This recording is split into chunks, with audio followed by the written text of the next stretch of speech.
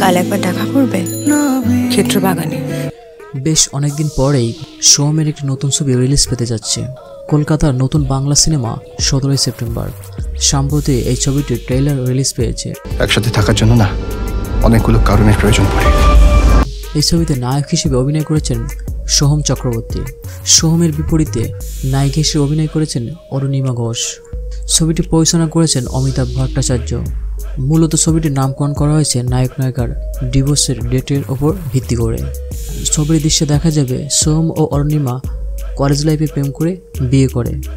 ছোটবেলায় বাচ্চা ছিলাম তখন ভুলভাল বুঝিয়ে আমার বিয়েটা করে বিয়ের কয়েক বছর পর বিভিন্ন রকম সমস্যার কারণে তাদের দাম্পত্য জীবন বিঘ্ন ঘটতে দেখা যায়। এক পর্যায়ে তারা সিদ্ধান্ত নেয় তারা দুজনে সেপারেট হয়ে যাবে। এই ডিভোর্সের মাঝখানে আরেকটি পারিবারিক গল্প লক্ষ্য করা যাবে। সোহমের শালী মানে নায়িকার বোনের বিয়ে। সম্ভবত ডিভোর্সের ওই দিনে নায়িকার বোনের বিবাহ সম্পন্ন হয়।